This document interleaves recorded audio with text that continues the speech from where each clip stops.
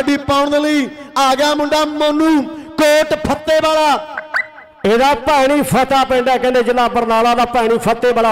Monu top ਦਾ raider ਅੱਜ ਦੀ ਤਰੀਕ ਦਾ। ਇੱਕ ਪਾਸੇ ਕਾਂਗੇ ਵਾਲਾ ਆਓ ਇੱਕ ਪਾਸੇ ਰੱਜੀ ਆ, ਕਹਿੰਦੇ ਭੂਲਣ ਪਿੰਡ ਦਾ ਚਾਰ ਜਾਫੀ ਹੈ। ਲਟੈਣਾ ਵਰਗੇ ਲਓ ਕੌਣ ਬੱਲੇ ਬੱਲੇ ਕਰਵਾ ਦੇਗਾ? ਆ ਰੱਜੀ ਆਏ ਇਹਦਾ ਭੂਲਣ ਪਿੰਡ ਹੈ, ਉਹ ਬੱਲੇ ਬੱਲੇ ਬੱਲੇ ਬੱਲੇ ਬੱਲੇ ਬੱਲੇ। ਰੱਜੀ!